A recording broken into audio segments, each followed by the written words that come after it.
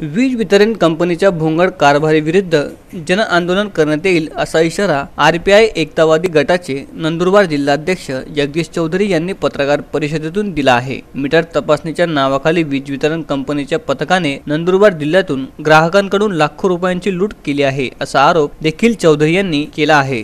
आपल्या नंदुरबार शहर आणि पूर्ण नंदुरबार जिल्ह्यात शहादा तवदा कल्पवा सगळ्या ठिकाणी फार मोठ्या प्रमाणात लाइट बिल येत आहे. कारण की यांचे जे मीटर यांनी बसवण्यात आले तर अशी असं म्हणजे शक्यता आहे की जे मीटर बसवले ते रिडिंग फास्ट चालते. आणि ज्यांना पाचशे रुपये हजार रुपये लाइट बिल येत होतं त्यांना आता चार हजार पाच हजार दहा हजार असं लाइट बिल येत आहे.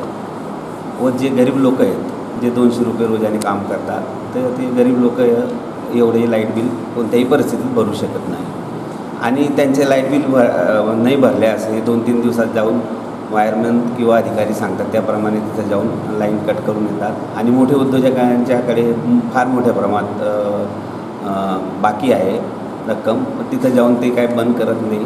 तर आमचं हेच सांगणं आहे साहेब अधिकाऱ्यांना अभियंत्यांना की यांचे लाइट लाइट बिल कशाप्रमाणे काय कोणत्या का- काय काय कारणाने जास्त येत आहे तर त्याची चौकशी करून त्यांना न्याय न्याय मिळावा अशी आमची विनंती आहे.